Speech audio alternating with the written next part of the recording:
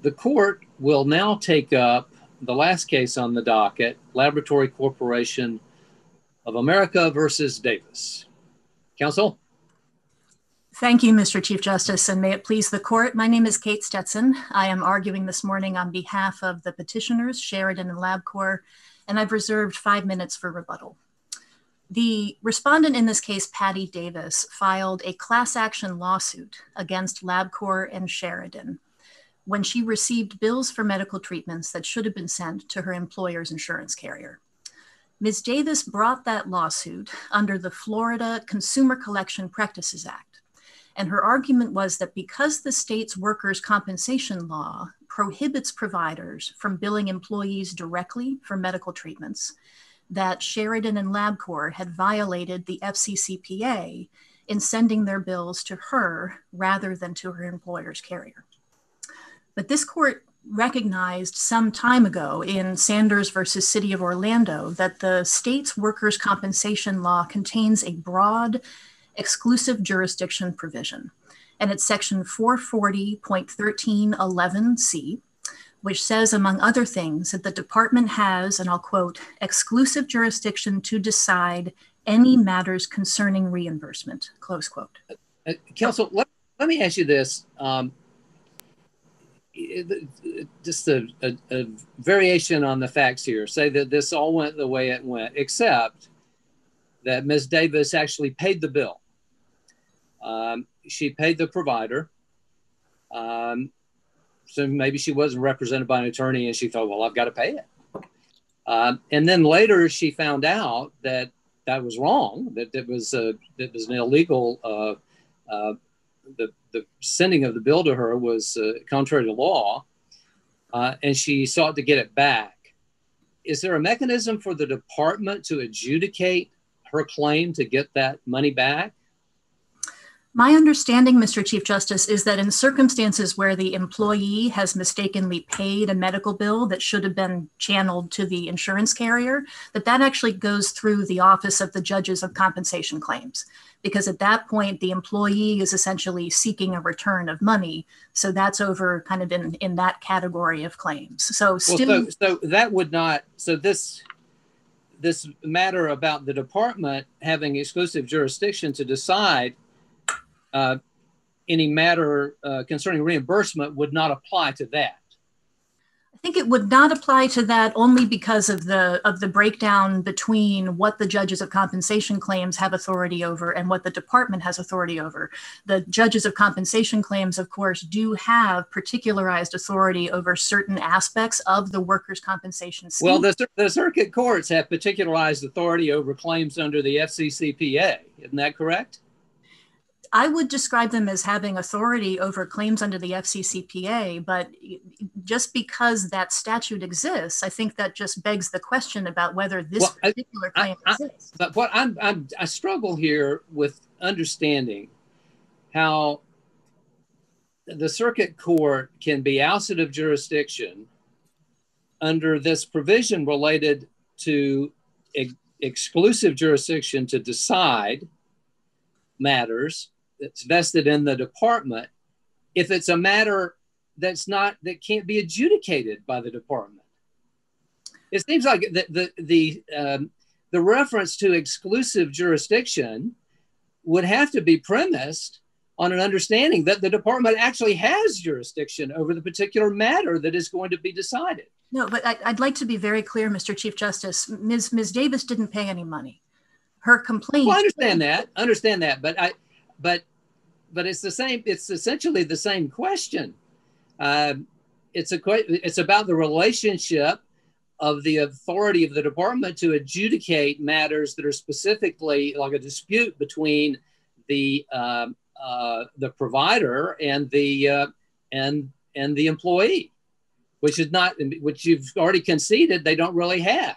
And you know when we look, if, when I look at the statute, uh, up in, in 11A, uh, it contemplates that sometimes an, a, a, uh, a, provider is going to receive a payment that they, they shouldn't receive. Um, and it, but it specifically provides that the healthcare provider has received payment from a carrier for services that were improperly billed and the, uh, and the so on, uh, it must return those payments to the carrier. There's no similar provision uh, with respect to an employee who's improperly billed, is there?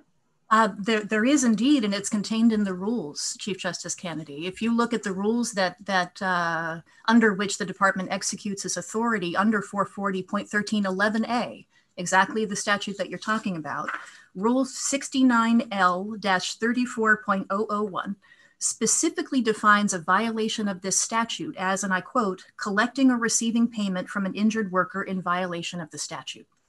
Rule 69L 34.003 provides that a person, such as Ms. Davis, can report a violation of the workers' compensation law to the division's offices, Office of Medical Services.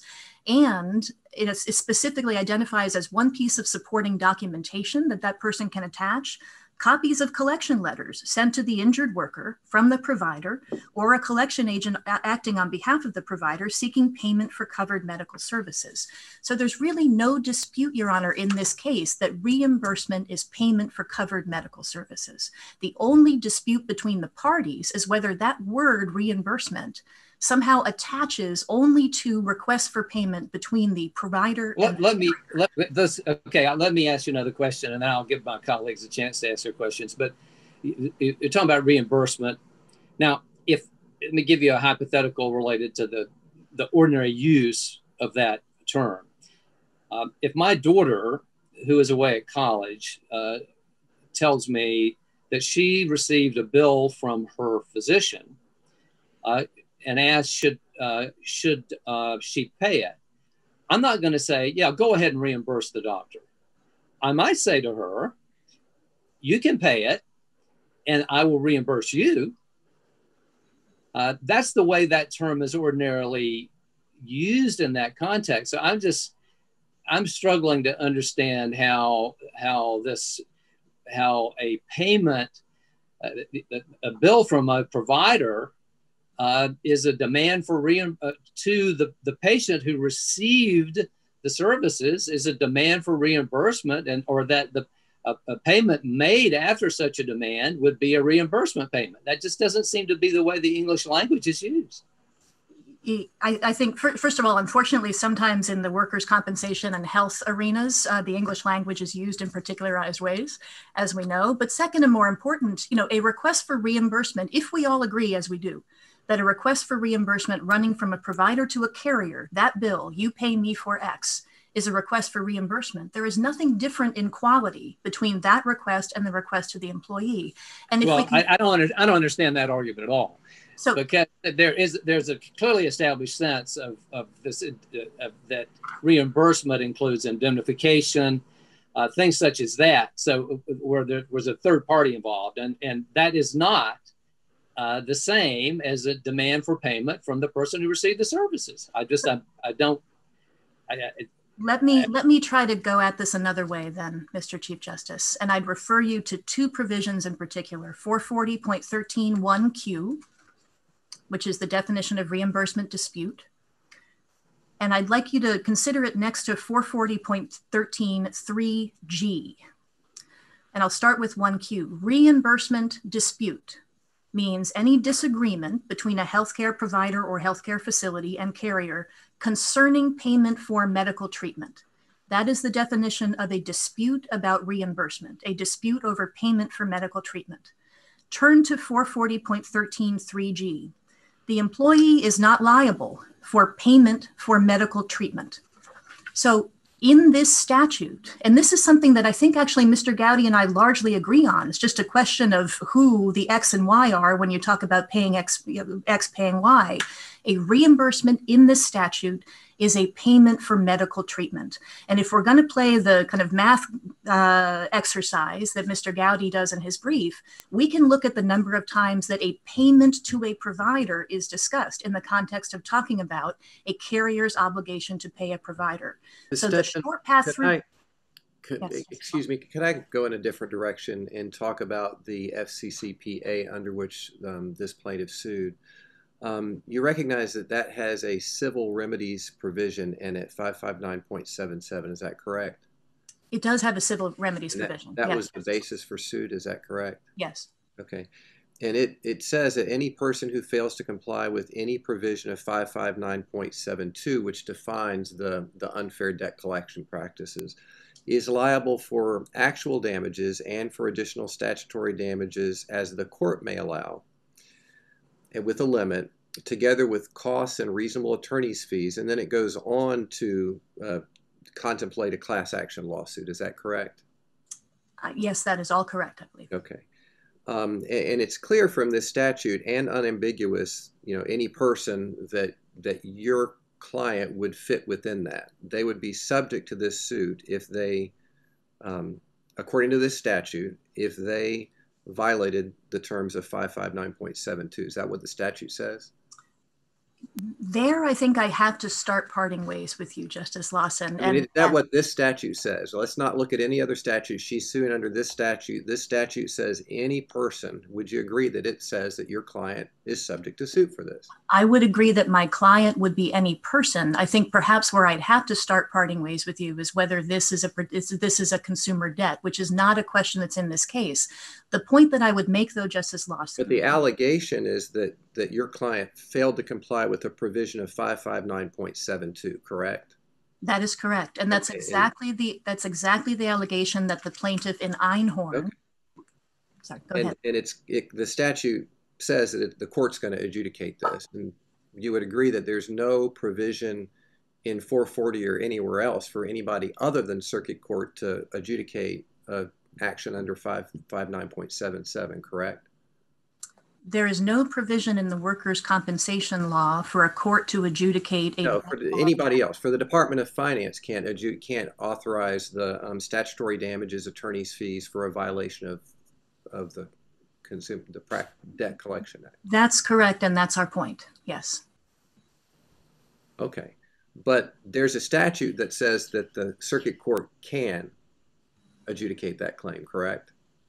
There is. that the general debt collection statute does say that, yes. Was the plaintiff seeking reimbursement for anything in that action, or was the plaintiff seeking the statutory damages, court costs, and other uh, damages outlined in the civil remedies provision? in in this action i think the plaintiff was was bringing a class action on behalf of herself and but was was was reimbursement for anything an issue no, because she. No, yeah, right, yeah. So, so why, why, why is what the term reimbursement in a different statute means if if the plaintiff brought a claim under this act for the statutory damages provided in this act and made all the allegations that this statute says constitute a cause of action for damages under this act because Justice Lawson of that broad exclusive jurisdiction language that I mentioned. It says any matter concerning reimbursement. It doesn't say any matter concerning reimbursement where the reimbursement has been made. Okay. After Aren't all, when you talk about harmonize the law, harmonize various statutes if Absolutely. they relate to one another. Yes. And, yes. and I'm having a struggle understanding why when one statute is clear and unambiguous and gives everybody who's subject to an Unfair Debt Collection Practices Act, a cause of action with statutorily defined damages against anybody who violates the act, we would be, I mean, it would seem to, if we're going to harmonize these statutes, there would be have to be something as express and clear as is in 559, such as a, a workers' compensation, you know, someone who's subject to workers' compensation benefits cannot take advantage of the civil remedies provision and 559. They they just are are out of luck and, and are subject to um, consumer debt collection, unfair consumer debt collection practices. I mean, I mean, it, why wouldn't a specific exemption be necessary to ignore the plain language of 559.77, which obviously gives a remedy? For a couple different reasons, Justice Lawson. The first is the workers' compensation law and the exclusive jurisdiction provision, which gives the department jurisdiction over any matters concerning reimbursement. That was in place, excuse me, long before the FCCPA. And of course, this court recognizes and understands the doctrine of implied repeal. There is nothing in the FCCPA that acts to deprive the department of the exclusive jurisdiction that it has over a matter concerning reimbursement, which this simply. But this lawsuit is a matter concerning an unfair debt collection practice for statutory damages that have nothing to do with the reimbursement or anything related to the workers' and comp statute. Justice right? Lawson, that, that is precisely the argument that the plaintiff in Einhorn made.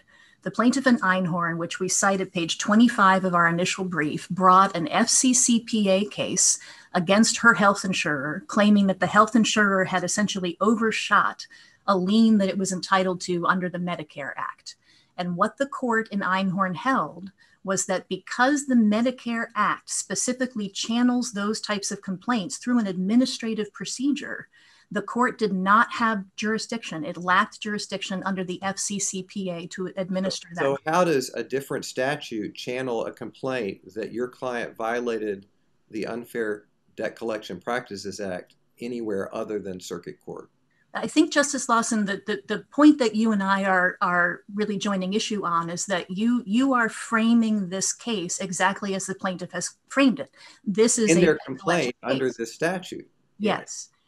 Our point is that no matter what label you put on this, you can call it a debt collection case and you can try to bring a claim under the FCCPA, just as the plaintiff did in Einhorn. What this is at bottom is a matter concerning reimbursement because this complaint is about Ms. Davis getting a bill that should have been sent to her insurance to her employer's insurance carrier.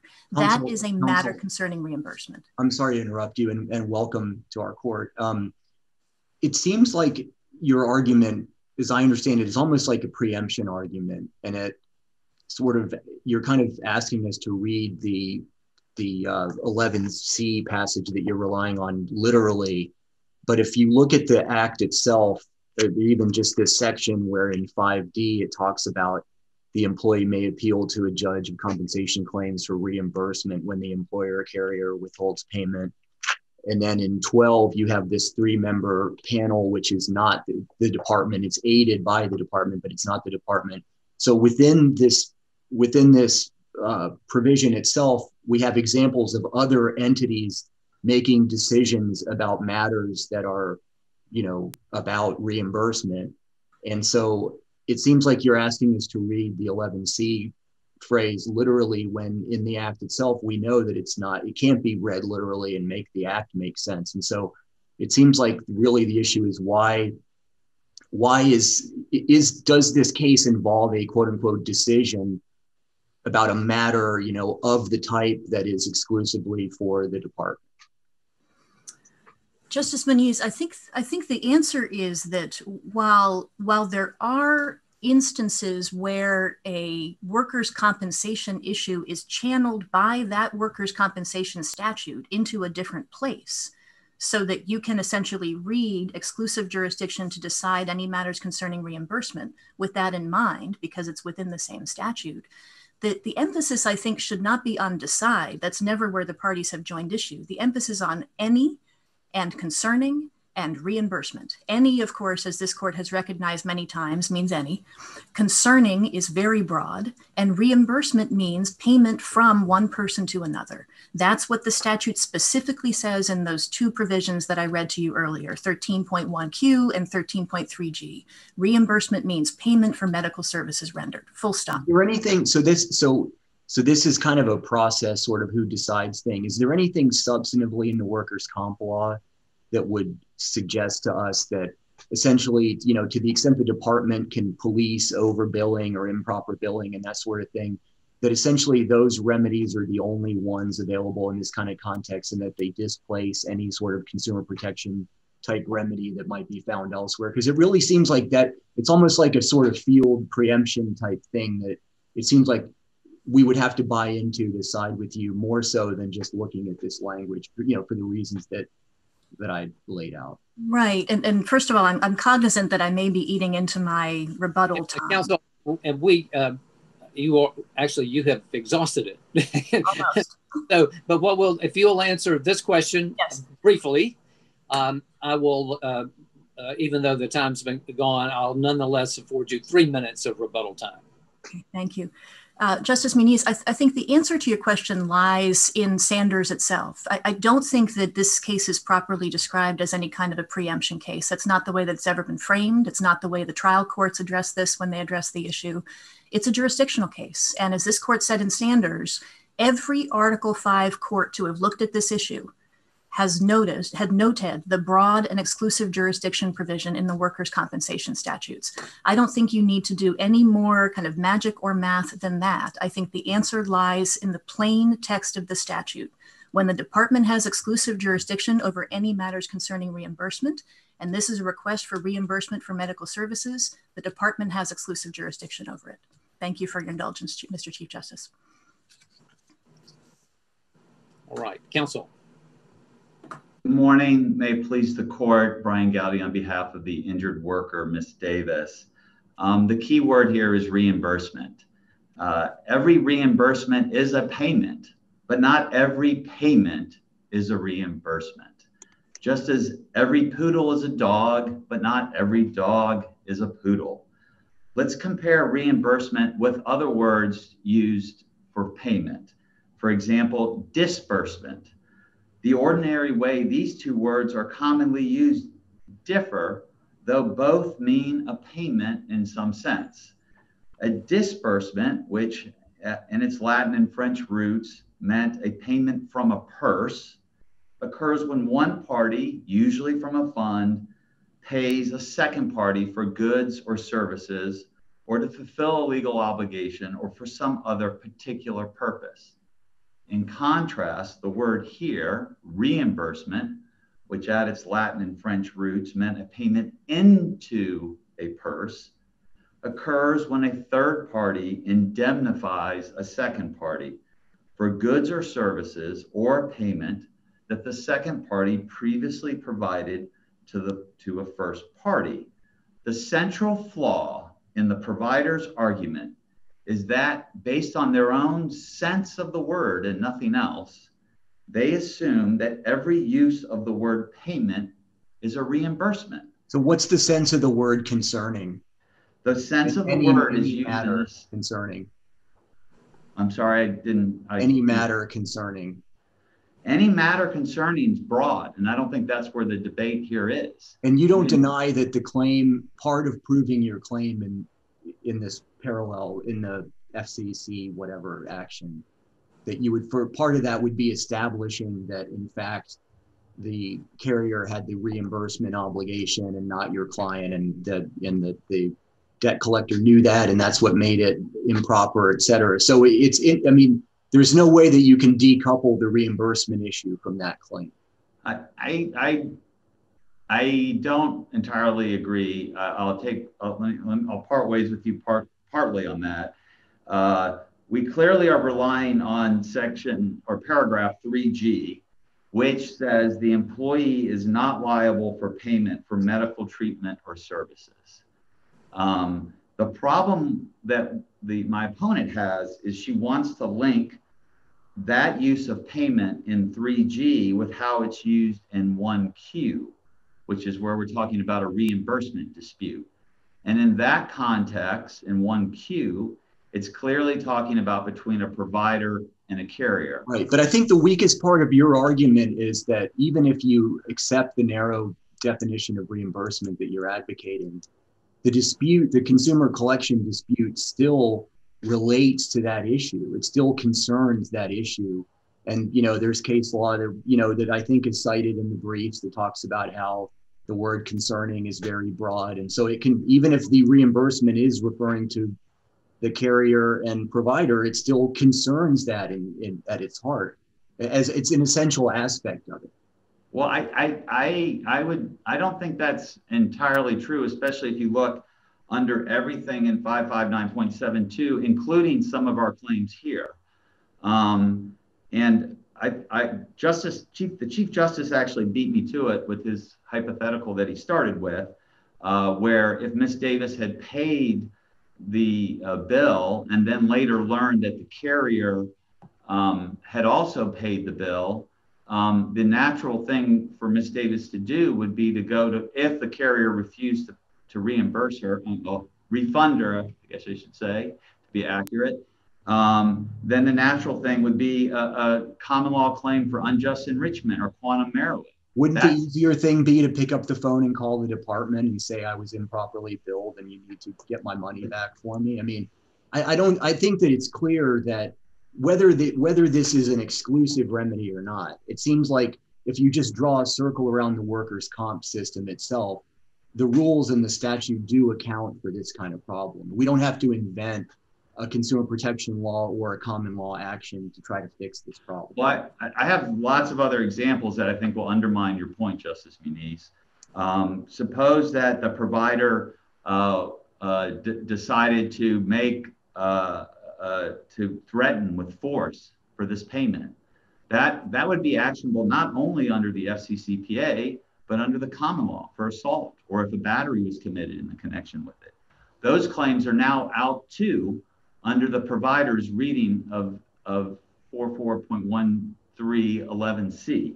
I understand. Um, so, I, and this is where I think it does get to the question of is this, you know, within sort of the way this statute uses uh, decisions, you know, about matters concerning reimbursement. I mean, one way to look at this is that it's just a sort of garden variety dispute over within the workers' comp system who is supposed to pay. I don't know that we need to get into you know, hypotheticals about people threatening to beat each other up or whatever that are clearly outside of a workers' comp context to answer an, or ask the question about is this the type of dispute that's being referred to in this provision?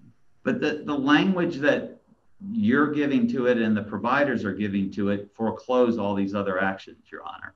Because you're saying, well, because it's a matter concerning reimbursement, if, if a provider were to threaten force to collect a payment, an unlawful payment, that would, under your, under the provider's reading, would be a matter concerning reimbursement. If, can, can, can, I, can, I, can I ask you? Can I ask you on this? Is there is there any dispute about who should have paid this bill? That's not that's that who was supposed to pay this bill? Is that an issue at all in this case or is that essentially conceded? Well I'm, i mean we're we're this is a we're here on a motion for judgment on the pleadings. I would hope the providers would concede that. I'd have to go back and review the answer whether they admitted that or not your honor. I mean it seems it, the answer should be there should be no dispute but i could I, you, maybe you can ask my opponent on that. We, we're very early in this case um, but for the for the legal question that we're having to answer here, it really doesn't matter because, you know, I mean, there are situations where, for example, if if care isn't authorized in advance or whatever, it's not per se wrong for something that could be in, implicated in workers' comp, where you, where there could properly be a bill that would be sent to the patient, and so you're you're sort of you really are you can't get away from the need to kind of in order to prove this claim, you kind of have to dig into the workers' comp law and figure out who was responsible for the payment and et cetera, et cetera. You can't, you can't, it may be obvious in some cases, but it still has to be decided. I, I look, uh, we're not trying to run away from the fact that the, that the claim involves the workers' comp law. If there, if Ms. Davis was not an injured worker uh, and she was just going to see a provider uh, independent, then the provider would, might have a legitimate a legitimate debt. So it, yes, I agree with you on that, Your Honor. But the question here is whether uh, an executive branch agency is all of a sudden going to have jurisdiction, adjudicatory jurisdiction, to decide uh, a dispute between Miss Davis, the injured worker, and the provider. And I think, but I think what the other side would say, though, and this was one of the issues I had with your brief, is that they're not saying that the department is going to decide a consumer protection action and award in response to Justice Lawson's question and you know apply that statute. They're basically saying that that type of dispute just is not because of the way the workers' comp system works. That in this context, this type of billing issue is off the table and has to be handled within the workers' comp framework. But that's the that's the problem with their argument because if you look at everything else in 11C, Your Honor, they are deciding disputes. Everything else in 11C, overutilization, and this happens, and we put the we put the forms in there for you to see. Um, when the provider and the carrier don't agree on the billing, they go to this procedure that the department has set up. So it is an adjudicatory function, but it just doesn't have any room at all for uh, the injured worker. So I just it, it's it's disingenuous to say that we're, the, the the purpose of this language is to somehow preclude Ms. Davis from an unjust enrichment claim or an FCCPA claim when everything else under 11C is to actually allow carriers to contest if providers are overbilling or providers to say we're not being paid enough. So everybody else gets to have an, a day in the department rather than court, except the injured worker, and that's an that's just not a reasonable reading of the uh, any matters concerning reimbursement, especially as we've gone through in our brief. Uh, when you consider that reimbursement, you can look it up in multiple dictionaries. It's defined as indemnity. An indemnity inherent in that is that it's a three-party transaction. So there is a third-party requirement. It's in it's intrinsic in the word. I think it's pretty clear though in the workers' comp law that they kind of interchangeably use the word pay and reimbursement throughout the statute. I that's well, I would I, I your, your honor I agree and that goes back to my hypothetical at the beginning a reimbursement is a payment but in this context that it's being used here you're not collecting a reimbursement from the injured worker. It's payment being used in a different sense. It seems different to me to have a situation where there is an argument about whether something should be covered under workers' compensation in the first instance, or even a dispute about the amount. And in those cases, it seems like the statute where it goes to the uh, agency and decided by a judge of compensation claims would correctly decide those type issues. But here, as I understand the facts, that the uh, lab was put on notice that it was covered by workers' comp, blew past that, and sent uh, in these instances it for debt collection to a collection agency and threaten them with their credit being ruined if they didn't pay. That seems more squarely under the consumer protections statute. So it seems like those are different type scenarios and what we have here is more properly under the consumer protection statute. Yes, I, I, I agree. And there's and and the, the two statutes, I would agree with Justice Lawson, they can be easily reconciled. If you give reimbursement the sense it's used uh, 47 times in the in the statute, it's always used to talk about when a third party is paying a second party uh, to compensate for something the second party either provided in terms of goods or services or paid. Um, and the, the providers try to parse like there's these different uses. There's not a single time in the statute that uh, I have it here. Uh, it's never used. Your argument, you're basically reading. You're reading the statute as if it said the, de- the department has exclusive jurisdiction to decide reimbursement disputes. See the defined term reimbursement dispute. And for better or worse, and who knows if it was intentional or not, that's not what the statute says. I'm not reading the statute like that, Your Honor. I'm reading it for reimbursement matters. And uh, while I get your point that you're not that, and this is the point you made is not something the providers have argued up to this point, but there's a whole host of things that go under subsection 12 and the head of that panel is the chief of the fin- chief financial officer. And that has to deal with setting the prices.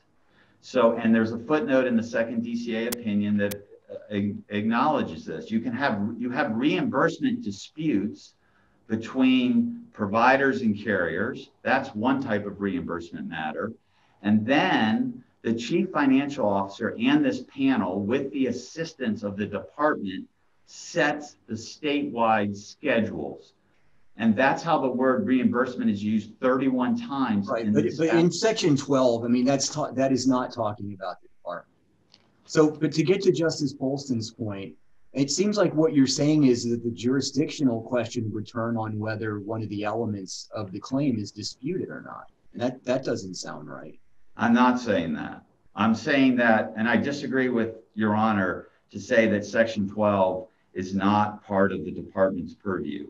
There's a three-man member panel created that consists of the chief financial officer or his designee and two members to be appointed by the governor, governor subject to confirmation by the Senate.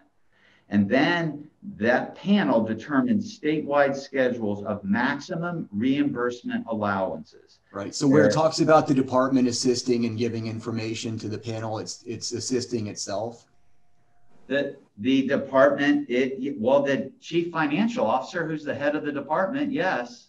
And this panel that's within the department is my fair reading of this. Did you never the providers are not fictional question though? I'm sorry, I didn't hear you. Justice Polston was talking to you about the about this particular claim and the fact that it was uncontested that uh, that the bill was improperly sent and whatever. But that seems like it kind of would tie whether there's jurisdiction or not to whether, in fact, there's a dispute as to whether the bill was properly sent in the first place.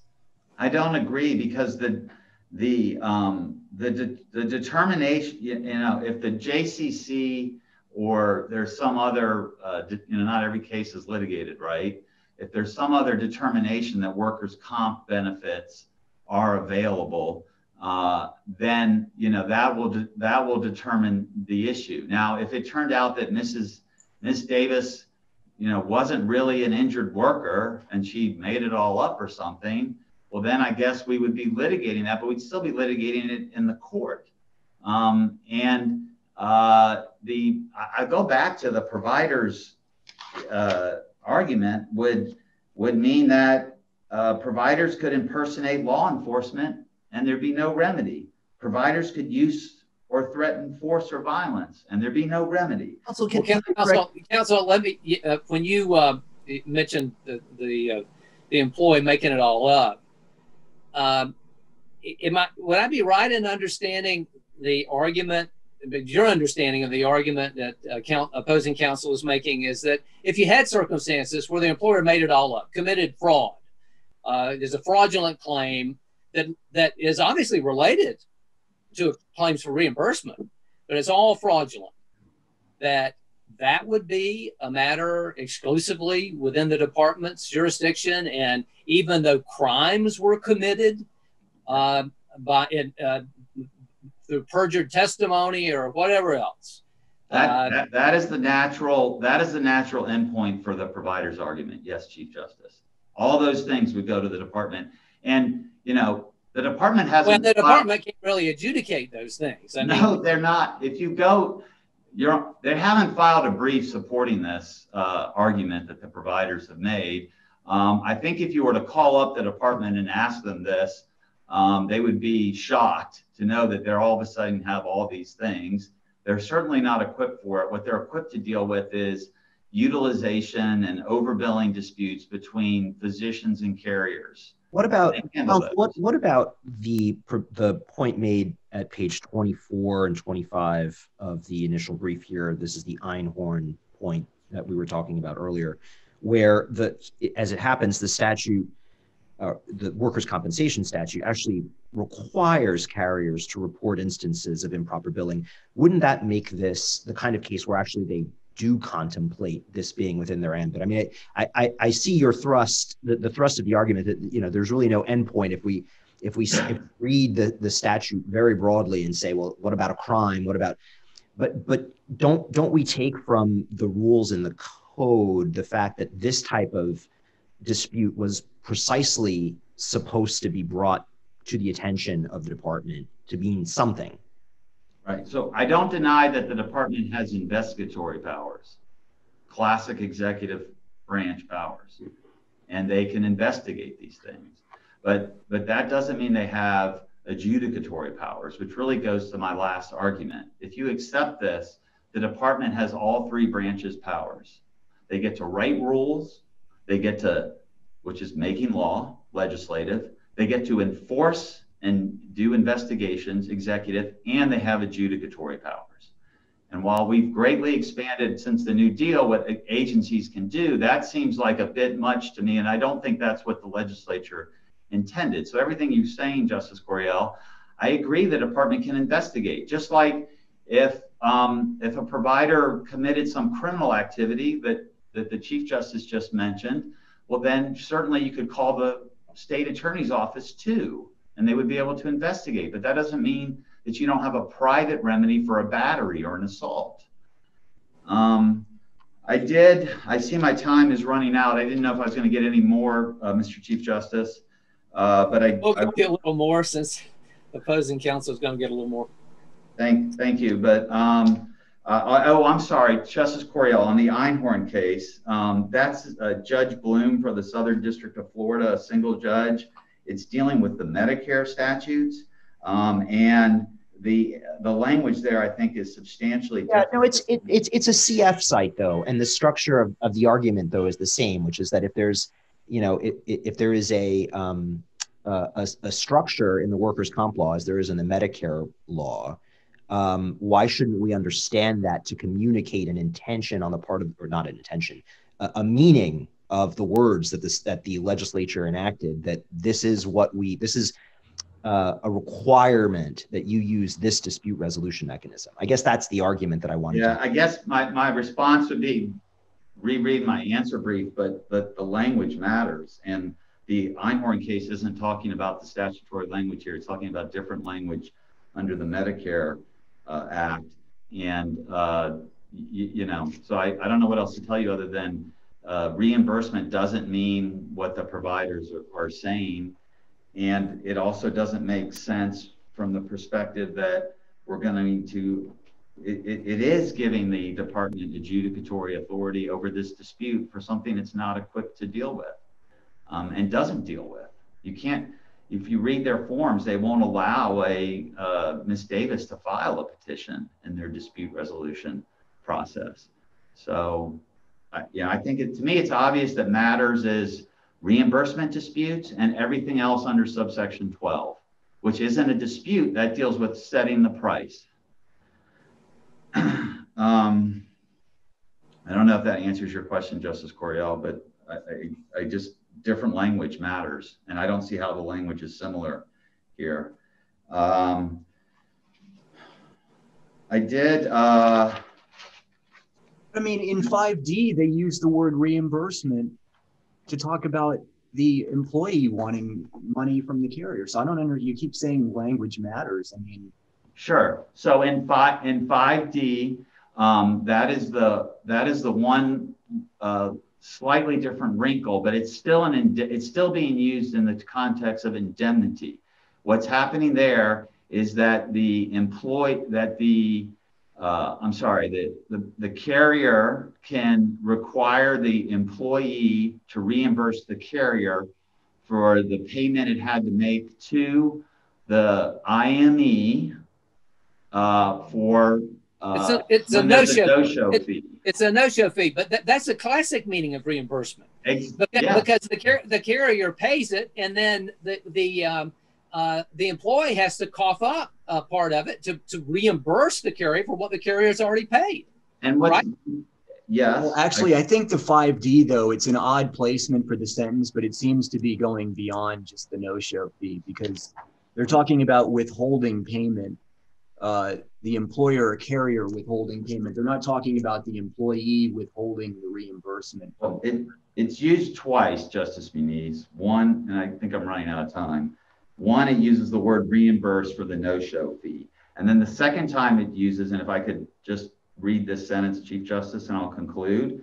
Uh, the employee may appeal to a judge of compensation claims for reimbursement when the employer or carrier withholds payment in excess of the authority granted by this section. So the reimbursement there is obviously going to the provider, um, or there are a few instances where an employee, for example, if you your first, uh, this is getting in the weeds, but if you do your first exam and the it hasn't been approved and you have to pay out of pocket, you can come back and get it. And there can be some things with uh, pharmaceuticals, medical devices, but it's clearly talking about paying for the services or, or goods. And um, most importantly, it doesn't support that the department has jurisdiction. It says it's in a completely different agency. All right, Counsel, if you go ahead and sum up in about 15 seconds. Uh, we would uh, ask the court to uh, affirm the decision of the second district, reversing the orders below that granted um, motions for judgment on pleadings. And thank you, uh, all of you, for your time today. Thank you, counsel. Rebuttal. Thank you, Mr. Chief Justice. I'd like to start with a couple of the points on which Mr. Gowdy and I agree. Uh, one of them is that we both agree that this claim only exists because of the workers' compensation law. That was the question of the series of questions that Justice Muniz asked. This, the gravamen of this claim is that the workers' compensation law was violated when a bill was sent to Ms. Davis rather than the carrier. That's the basis of this claim. The second thing on which Mr. Gowdy and I agree is that language does matter. So, Justice Couriel, in response to your questions, if you look at uh, subsection 11A of 440.13, one of the things that you are exactly right on this, one of the things that is specifically mentioned in that section is instances of improper billing. The department has the authority to investigate and monitor instances of improper billing. And that's why when I read the rules earlier, this is the language matters here too. The language of the rule 69L 34.003 a person like Ms. Davis may report a violation to the Office of Medical Services and, among other things, may attach the copies of collection letters that she received from the provider or the or the debt collector. There's really no clearer indication that that statute and instances of improper billing and the de- department's responsibility for it sits exactly within uh, the context of this case. So and I want to make a. In this case, you had the uh, workers' comp uh, carriers actually paid the providers, and they're paid. But in spite of that, they uh, improperly billed uh, the patient, and uh, when told that they shouldn't be billed that and it had been paid, they ignored that, sent them to a bill collection threaten to uh, destroy their credit, and in fact do that and destroy their credit, there's no other recourse except to go back to a state agency for the patient. I, think Justice Polston, the, the answer is is uh, the the agency. There is recourse at the agency, but I want to make sure that that means.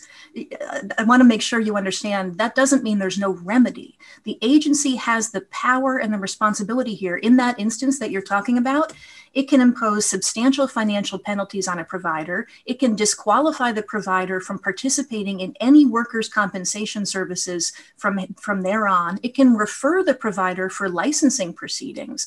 There are actually very powerful penalties. But there's no, but no direct, but but if I'm understanding the list of things you've gone through, there, there is no remedy, no direct remedy that will be of direct benefit to the person who has been injured. No, and that's the last point, Mr. Chief Justice, that I wanted to make, which is that the, the workers' compensation law in this state is designed to be an efficient, self contained apparatus. And one of the trade offs that gets made, and you see this in the statement of legislative intent, is that employers and employees and carriers all give something up. There is a remedy here. It just doesn't flow directly well, to but. Davis. You know, I, this this whole argument about the purpose of workers' comp, I, it just I, I find mystifying because I understand that this administrative process is set up to cut cut down on litigation of matters, disputes between uh, the uh, providers and the carriers over all that, all those things that are within the scope of the statute.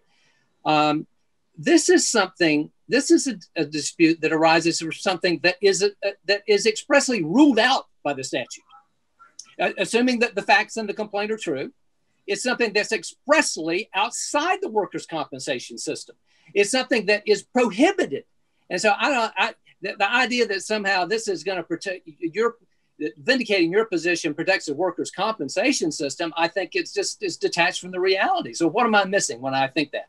I think, Mr. Chief Justice, what, what you're missing is that that argument simply turns back on itself. The, the, as Mr. Gowdy conceded, the reason that this complaint was filed was because the provider improperly billed Ms. Davis rather than insurance carrier. So yes, the, the insurance carrier actually is supposed to handle those bills. Counsel, the trade-offs, all the trade-offs you talk about when you're talking about the workers' compensation, that is not implicated in this this uh, alleged wrong done by the provider to this uh, patient. I don't see how that is at all implicated by the trade-offs that are underlying the workers' comp system. Mr. Chief Justice, my point was that this entire system, including the exclusive jurisdiction provision, is designed to capture all of those trade offs in one self executing, efficient system. Ms. Davis had recourse to the agency in order to bring a complaint, to get penalties assigned against these providers, to disqualify them from future workers' compensation proceedings, whatever, in the case of all of these hypotheticals we're talking about, would take place. But what Ms. Davis chose to do was something that is outside of the capability of the Article 5 courts of this state, which is to sue under the consumer uh, collection laws. Ms. Davis had a recourse. The recourse was designed in a specific way. The statute makes sure that that recourse is exclusive within the department, and that's where this should stay. If there are no further questions. All right. Thank you, counsel. We thank both of you for uh, your arguments in this case. And that uh, concludes this session of court.